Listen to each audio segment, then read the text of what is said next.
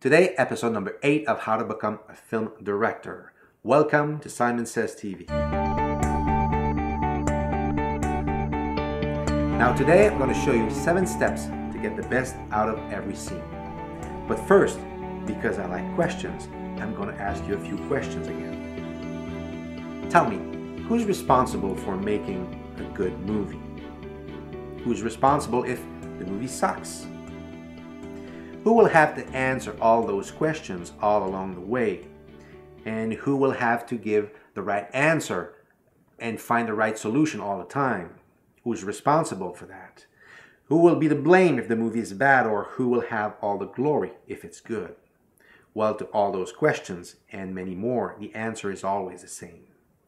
You, the film director. So that's why it's very important to try to make the best you can. And I think the best way to make a good movie is to be well prepared. I think the secret, if there's one, is in the preparation. So be prepared. And how to get prepared? Well, I'm going to tell you how to do that. Step number one you will have to go and visit every single location prior to shooting.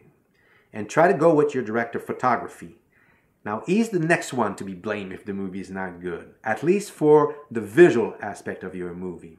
And most cinematographer, if they're good, if they're a little bit talented, they will care a lot about your movie, as much as you, almost as much as you, because their signature is going to be on the movie also.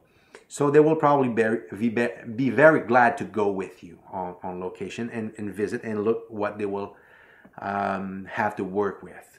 Point number two, what you will do is you will look at what you have to work with.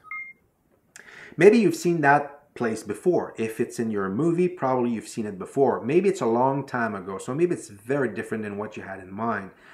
So maybe there's a fixed counter somewhere, a fixed thing that, that that you you forgot about or it wasn't there. You will have to you will have to work around around that. So and look at the furniture that is around. Look look at the props. Maybe there's a phone call at some moment. Is there a phone nearby that you can use? Maybe you need something else also in the scene. Look at all what is available to you and also look at the sources of light. Is there light on the ceiling, on the wall? Maybe you were expecting a window to shoot with a window in the back. Maybe you were hoping to have the sun in the back window. So try to, to see if it's possible. Ask the owner where the sun rises and where it goes down and try to note at what time is the best time to shoot the scene if you want to have the sun in the back. Now uh, that you've noticed all of that, that you took good note of all of that, we're going to point number three, which is step back and let yourself be uh, submerged by the room. Let yourself be inspired by the room. Look You've watched what was there, okay? You had something, you had a vision in your mind when you wrote your script or when you read it, if you haven't wrote it yourself. And look at what you have to play with. Maybe you will find some new and greater ideas than what you had in mind when you wrote it. Maybe you would say, oh man, I never thought about that, but if it's there, we will use it. Or, damn, I thought there were there was a closet in that room, and I had a scene where the guy was going to hang his coat in there, but there's no closet, so you will have to change that action in the scene. So try to see, get inspired by the room, and take the best out of it, and adjust to your vision, the vision you had when you wrote the script.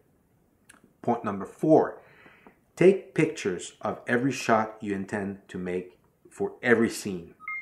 That's about the only time I'm going to ask you to work with a zoom lens to save time.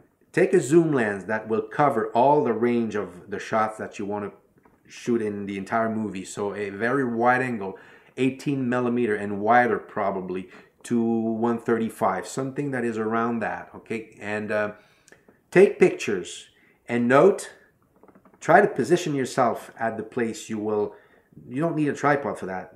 Try to place yourself where you intend to shoot every shot and take note at the reading on the lens.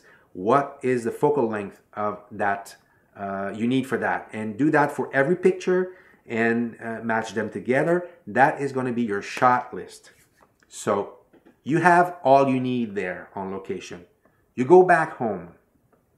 Now, now when you'll be home, what you will do is you will take your script again and you will have your pictures here, all of them, and you will go through your script again and you will see if it matches together. We saw different things on locations that we had to make some changes according to what's what is the actual location. So you will have to adjust that. And then you will have something rock solid. You will have what you will shoot. Everything will be, you know, solid.